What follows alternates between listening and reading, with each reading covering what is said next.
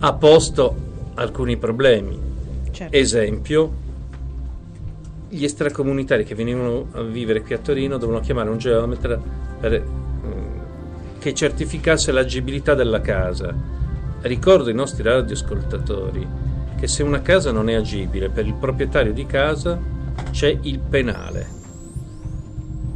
E poi alla fine si tratta solo di fare un obolo verso i geometri. Ecco, anche queste cose. Vediamo eh, sui giornali che si parla di retate nei confronti delle donne di colore, delle nigeriane, di solito si usa questo termine, lungo le strade. Io non ho mai sentito parlare di retate dentro i night. E, questo è incredibile. Come dire, chi ha soldi sta tranquillo, chi non ha soldi può temere. Questa legge è barbara anche perché parlando con gente che comunque aveva una certa disponibilità di denaro, qui non si parla di prostituzione, qui si parla di amore, e amava una donna che non fosse comunitaria, avendo i soldi la poteva far passare come colf. Dopo un po' si sposavano e lei aveva la cittadinanza italiana. Cittadinanza italiana e ricordo che c'è gente che è sposata con un italiano, ha avuto dei figli in Italia e la cittadinanza italiana l'ha aspettata oltre i due anni, ben oltre i due anni. Invece chi ama una persona che, uomo o donna che sia, che non sia comunitario, ha grossissimi problemi a aver- avere, stare con questa persona perché per farla venire deve avere il conto in banca di un certo tipo, deve avere tutta una serie di richieste, dove insomma è più facile essere clandestini che essere Sì, sì, in lega- infatti, cioè, eh, ma pensare a una norma, a una normativa più civile che regoli Sì. queste cose. poi, Dato che la gente che si sposta è gente che ha fame o che comunque è in situazioni di guerra e noi italiani lo dovremmo sapere per primi.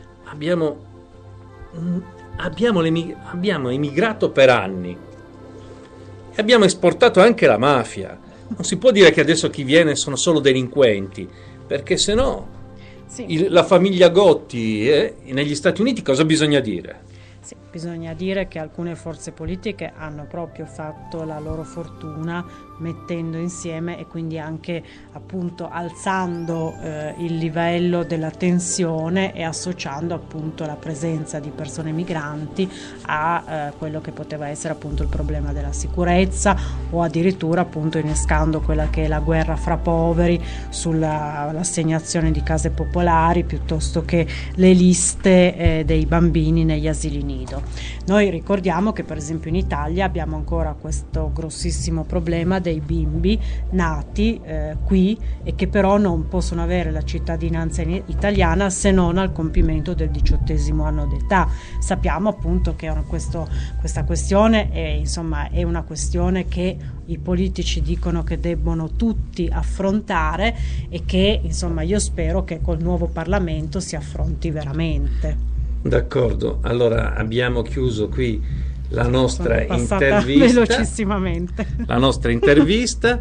Ricordo ai nostri radioascoltatori che la prossima settimana ci sarà la consigliera regionale Arte- Eleonora Artesio di Rifondazione Comunista e che il 27 novembre ci sarà un esponente dell'UDC. Quindi noi continuiamo nella nostra carellata portando ai vostri microfoni tutti i partiti e mm, questo fino al eh, l'un- l'11 dicembre, il 18 dicembre chiuderemo con un dibattito qui in radio fra esponenti di diverse forze politiche. Quindi, così facendo, diamo a voi la possibilità di ascoltare le, le opinioni e le posizioni di tutti, decidere se votare o non votare e se votate per chi votare. Noi cerchiamo di esservi vicini e di darvi una mano. Vi ringraziamo, vi salutiamo, a martedì prossimo.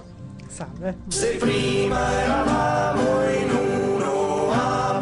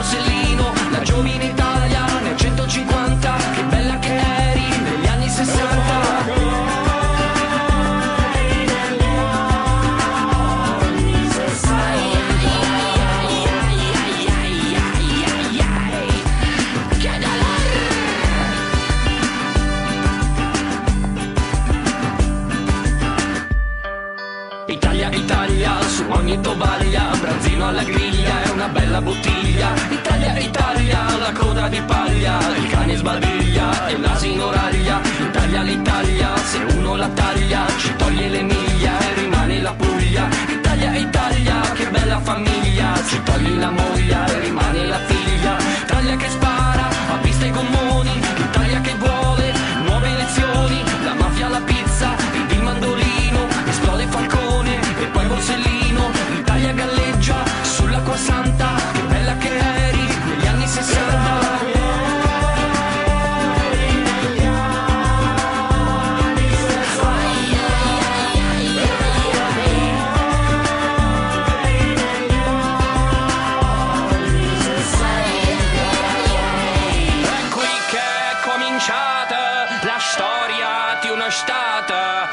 spesso maltrattato, ma come io ti amato, nessuno amato mai.